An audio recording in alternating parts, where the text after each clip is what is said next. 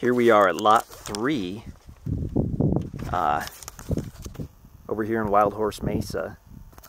This lot, which I didn't know until today, this lot has direct frontage on Wild Horse Drive, which is kind of the main main drag here. So there's, we're parked right in front of the property. It's fairly level. It's actually pretty much directly across from the uh, the little community center at Wild Horse Mesa. We've got power right there on Wild Horse Mesa Drive. Uh, so this is this is a good one for sure. Walking, I'll just walk up onto the property. Uh, you can see it's pretty much level. There's a house a few hundred yards away to the east. I can see a couple houses toward the south, a few hundred yards away. Uh, these are they could be year-round homes. They look more like uh, vacation type cabins to me.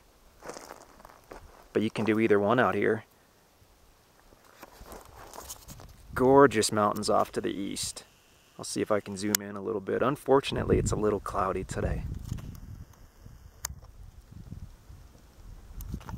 But we've got some beautiful mountains off to the east. This is not very far from the lake or the reservoir. It's a it's a lake or reservoir, but you can fish in it and play with that. Power and phone are going to be right here on the road. I'll see if I can walk onto the property a little bit just to kind of show you what it's all about. There we go. Yeah, this is good to go. Basically flat. We've got some of the small sagebrush, cedar, very small cedar trees, all typical of this area.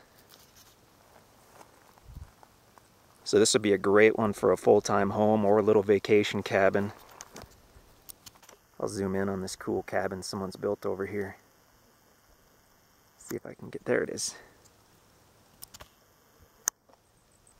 So you don't have to build a, you know, a 3,000 square foot home or anything here in Wild Horse Mesa. You can build just a little, little home and then use it uh, for inexpensive living or for some beautiful vacations. It's too bad it's so cloudy over those mountains, but you can still kind of kind of get the gist of it. So that's lot three on Wild Horse Drive. So peaceful out here. It's gorgeous, gorgeous.